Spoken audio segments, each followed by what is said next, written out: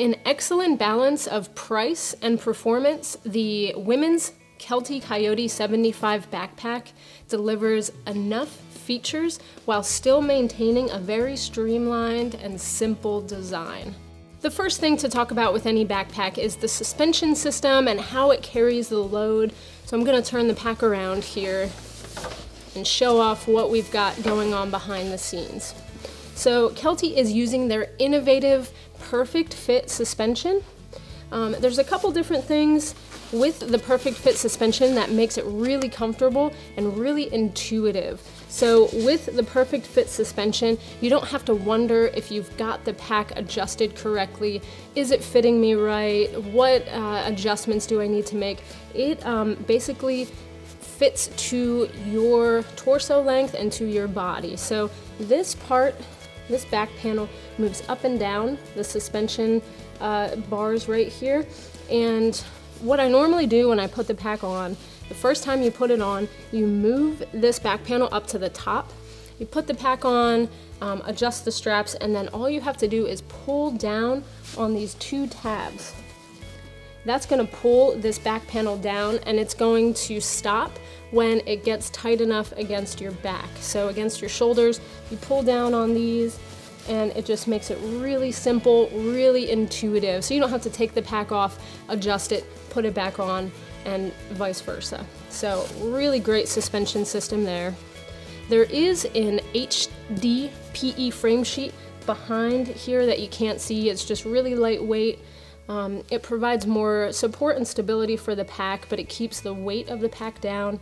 And you also have those supports in the hip belt as well. Talking about the padding um, of the shoulder straps, you've got really nice padding here. It is mesh on the inside as well, so that definitely lets warm air escape. We've got a channel down here that lets warm air escape as well, so that's gonna cut down on hot spots. Behind this hip belt, You've got the same padding. This is a women's specific backpack. So you do have uh, women's specific contours in the hip belt and in the shoulder harness. And the torso length here is from about a 14 and a half inch torso up to an 18 and a half inch torso. So that's going to definitely accommodate a lot of different people. Um, top to bottom here, you've got load lifter straps. So once you have this dialed in, you just pull on those load lifters. You've got a sternum strap here and that's also adjustable, so really easy to slide that up and down.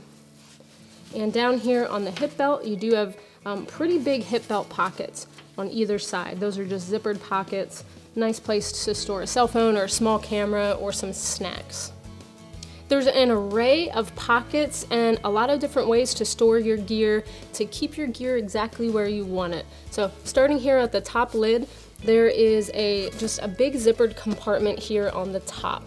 This is a floating lid, so it floats up and down with these buckles here on the back and on the front. Turning the pack around, there's a very shallow pocket here on the top of the lid so that's just a small pocket. Maybe put a map in there or something like that. If I uncover the lid, there is a nice collar on the top of this pack. So you've got access into this pack a couple different ways. This is a top loading, true top loading pack. So this top opens up very wide. It's easy to open up and you do have that big collar on top. So if you don't have this pack, packed out completely, you can compress that down. There's a compression strap on top. But if you need that extra space, again, the lid is floating so you can really pack that out. Large open access into the top there. You can also access this pack in other ways. So there's a big U-shaped zipper right here. If you undo that, you can just pull that whole zipper down and have access all the way into the bottom and into the top of your pack. There's no sleeping bag compartment, but this big U-shaped zipper is really helpful for getting to gear on the bottom of your pack. Moving down the pack here, on the front you have an extra little pocket. Again, big U-shaped zipper. I've got some uh, layers in here just to show the size. But within this pocket, you've got two little pockets. This would be a great place to store a map as well, some extra uh, small pieces of gear, and there's even a little toggle for your keys.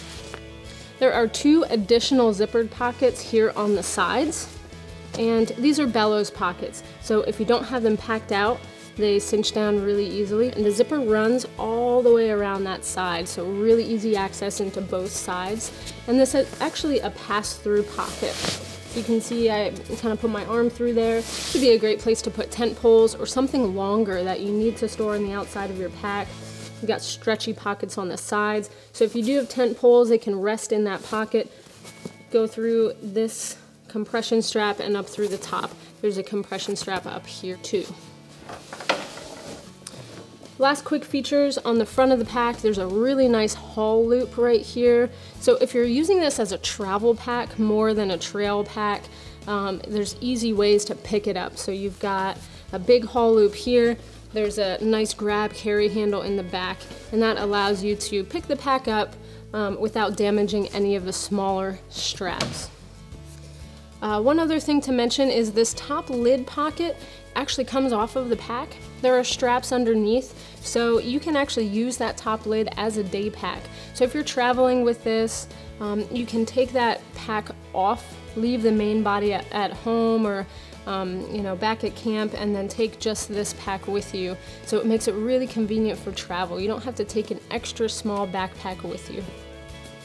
With all the features here, the streamlined and simple design, the perfect fit suspension of the back panel, you can be confident you're going to be wearing this pack well on your next adventure. It is the Kelty Coyote 75 Women's Backpack.